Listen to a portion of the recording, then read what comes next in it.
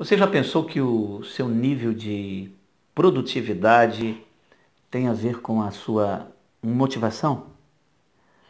Por incrível que pareça, isso tem a ver e tem uma relação direta. Pare e pense por um instante comigo. Quando nós estamos motivados, consequentemente produzimos muito. Isso pode ser avaliado tanto nas questões pessoais como nas questões profissionais. Geralmente, o nosso estado de espírito interfere sim em nossos resultados. Então, se a produtividade tem a ver com a motivação, que tal criar um plano de motivação para aqueles dias em que a vida não tem sentido algum?